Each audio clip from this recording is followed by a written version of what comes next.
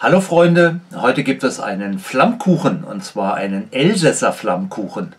Der hat übrigens seinen Namen daher, dass die Bäcker früher äh, mit diesem Teig getestet haben, ob der Ofen heiß genug ist oder zu heiß, äh, bevor sie ihre Brote darin äh, gebackt haben, buken, backten, wie auch immer. Jedenfalls habe ich einen Elsässer Flammkuchen gemacht ohne Hefe. Scheint wohl irgendwo äh, im Elsass so zu sein, dass man da keine Hefe nimmt. Und ähm, was ich da gemacht habe und wie klassisch es für euch erscheint, ähm, ja, das seht ihr jetzt. Ach so, hört mal. Oh. Ja, so hört sich ein Flammkuchen an, wenn er aufgeschnitten wird. Okay, also, Spaß beiseite, jetzt geht's los.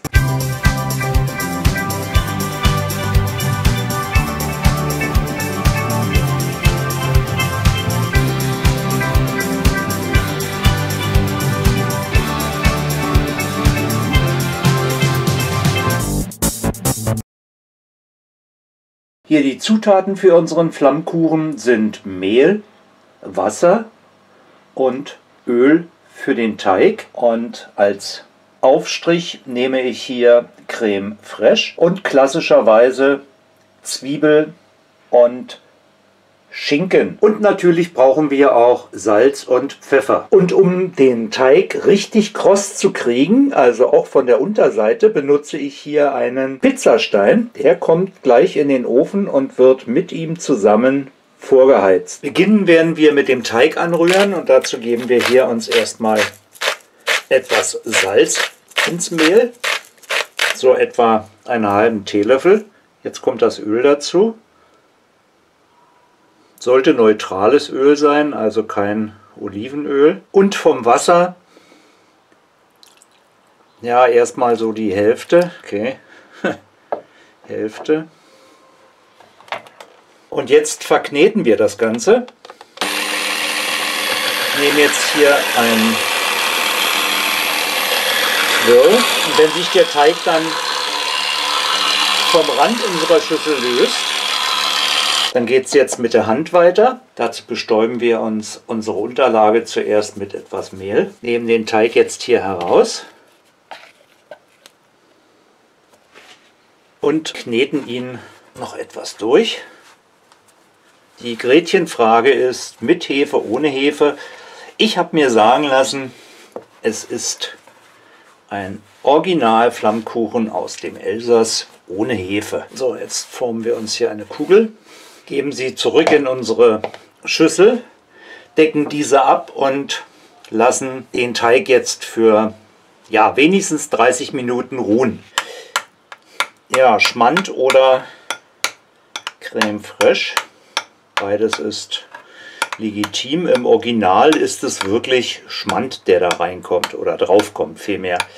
Ähm, mit Salz und Pfeffer etwas abgeschmeckt und je nachdem, was für Speck verwendet wird, bei mir ist das ja nur leicht geräucherter Frühstücksspeck, ähm, da ist es schon gut, wenn man hier noch etwas Salz ran gibt. Das Ganze verrühre ich jetzt und stelle es erstmal beiseite.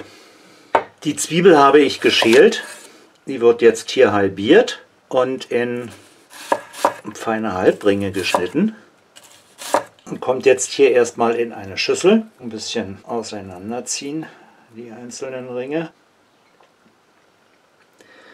Auch erstmal wieder beiseite. Und jetzt nehmen wir uns den Frühstücksspeck und schneiden ihn jetzt hier in Streifen. So, die Hälfte sollte mir ausreichen. So, Speck ebenfalls. so, Speck ebenfalls in eine Schüssel und erstmal wieder beiseite. Nach einer halben Stunde mehle ich wieder meine Arbeitsfläche ein.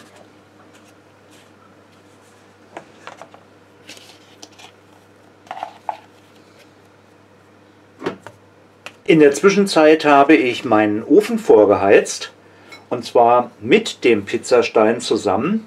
250 Grad Umluft, also wenn man so will, volle Möhre. So, jetzt teile ich den hier, gebe die andere Hälfte hier wieder hinein in unsere Schüssel. So, die Hälfte des Teiges werde ich jetzt hier mit Hilfe eines Nudelholzes so dünn wie möglich ausrollen. Wenn der Teig sich da ab und zu zurückzieht, dann ist das auch normal. Da muss man dann eben halt etwas öfter drüber oder noch eine Weile wieder warten, bis sich der Teig wieder entspannt hat.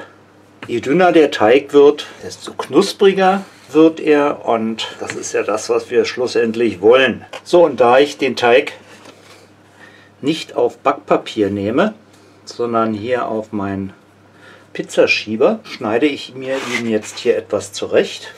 So in etwa auf die Größe, damit wir das Teil nachher auch wunderschön in den Ofen kriegen.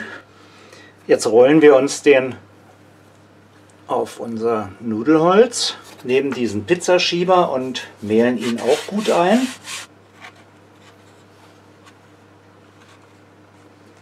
Und drehen den Teig hier wieder ab.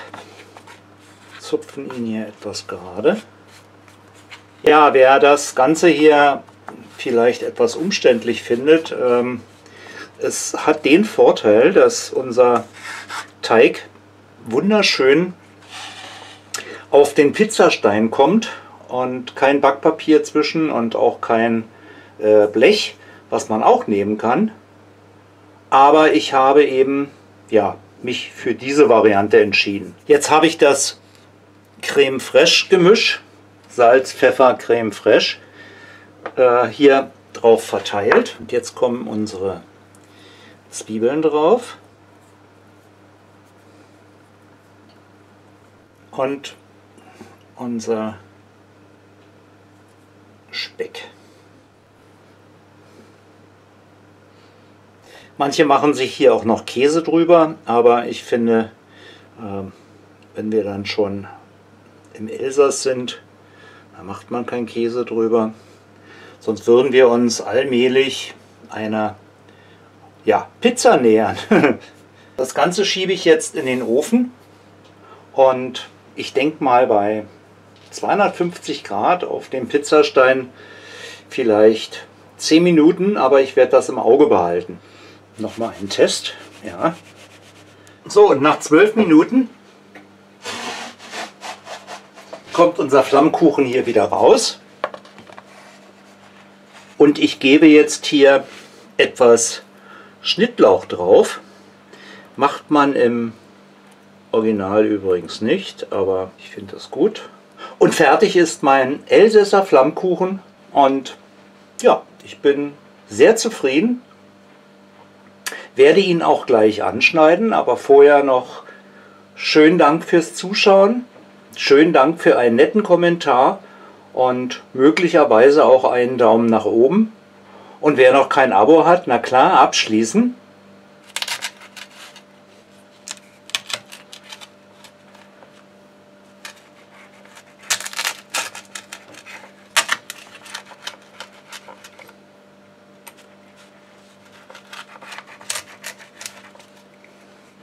Bis zum nächsten Mal.